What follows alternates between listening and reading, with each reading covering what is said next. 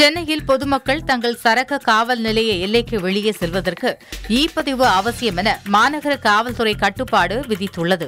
மேலும் அரசால் அனுமதிக்கப்பட்ட நேரத்தை மீறி உரிய அனுமதியின்றி வெளியே சென்றால் கடும் நடவடிக்கை எடுக்கப்படும் எனவும் எச்சரிக்கை விடுக்கப்பட்டுள்ளது. அவசர மருத்துவ சிகிச்சை மற்றும் தவிர்க்க முடியாத தேவைகளை தவிர வேறெந்த நடவடிக்கைகளுக்கும் இ பதிவு இல்லாமல் பொதுமக்கள் அனுமதிக்கப்பட மாட்டார்கள் என காவல்துறை திட்டவட்டமாக தெரிவித்துள்ளது.